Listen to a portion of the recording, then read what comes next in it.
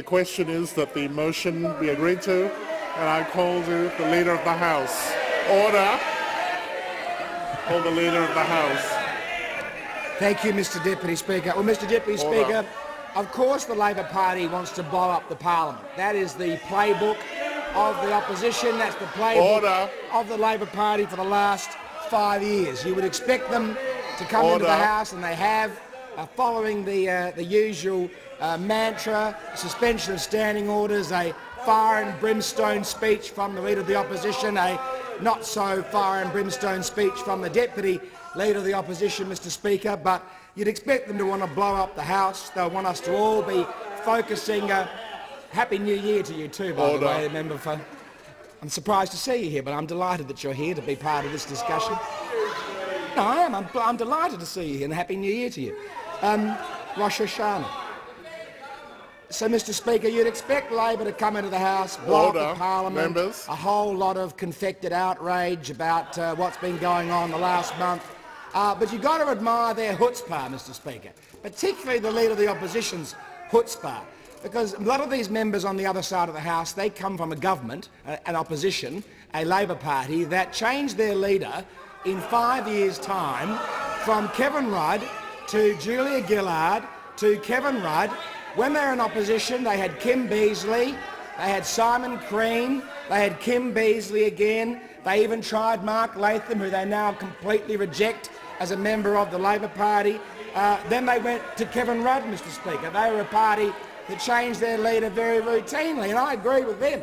I agree with them that changing the leader is not the right thing to do.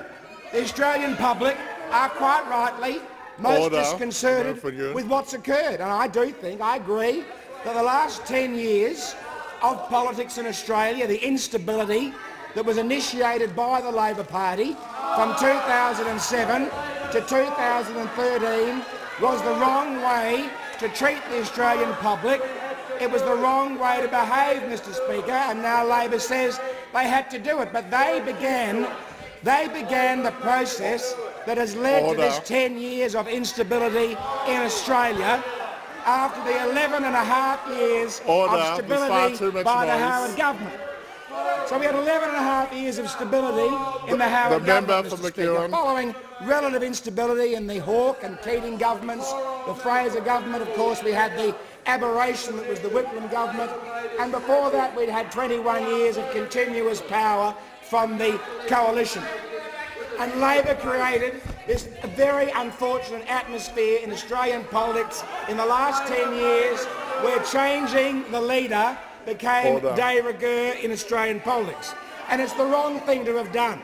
And I agree with the Australian public that what they want is stability. They want a calm, Order. The methodical government in Australia that is getting on with the job. And coming from the leader of the opposition, it is particularly galling to be lectured about stability and unity, Mr Speaker, because in Paul Kelly's book, Triumph and Demise, on Bill Shorten, or on the leader of the opposition, I should say, Paul Kelly lined him up. He said the distrust between Rudd and Shorten was intense and enduring. The Gillard camp was contemptuous of Shorten, considering him weak and duplicitous. Neither side trusted him and neither side revised its view, Mr Speaker. And of course that is the truth about the leader of the opposition. Neither side trusts him in the Labor side. Nobody trusts him amongst the Australian public. The only people that trust him to follow what he says he'll do is the CFMEU and John Setka, Mr Speaker. The reality is that in two weeks, the new Prime Minister, after only two weeks, is the preferred Prime Minister in Australia. How upsetting that must be to the Labor caucus, Mr Speaker.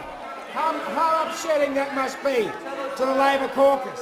Because even in polls that show the government trailing the opposition very seriously, and there's no point in gilding the lily, that is certainly the case Order. in the current The member for published Kingston. polling. Even in that published polling that shows the Labor Party well ahead of the government, the leader of the opposition is not the preferred Prime Minister in this country. In two short weeks, in two short weeks, the member for Cook has so put his stamp on the Prime Ministership that he is the preferred Prime Minister uh, in this country, and that must be making the Labor Party hard heads of the caucus and the union movement scratch their heads and think uh, it's possible they could lose this next election, an election which the Labor Party thinks they already have in the bag, an election where the Leader of the Opposition is already sizing up the size of the curtains in the Prime Ministerial suite because he's so certain that he's going to be the Prime Minister of Australia after the next election. Well, I've got news. I've got news for the Labor Party. I've got news for the Labor Party. We're getting on with the job on this side of the House. We are getting on with the job. Order. Whether it's creating over a million jobs, Mr Speaker, creating over a million jobs. Growth last week, according to the national accounts, the highest level of growth in the G7, Mr Speaker. The highest Order. level There's of growth in the. G, amongst G7 nations. Because the policies of this government, The member for policies of the former Treasurer, now the Prime Minister, the former Prime Minister, uh, have been driving economic growth in this country, creating growth, creating jobs. This, this government, Mr Speaker, has got the runs on the board. This government, Mr Speaker, has reduced income tax for, for personal income tax in Australia. For average families struggling to make ends meet, we are reducing income tax for those families. We are reducing The company member for tax for small businesses. We are driving small and medium enterprises in this country to reinvest in their own businesses, to create the jobs that are driving the economy.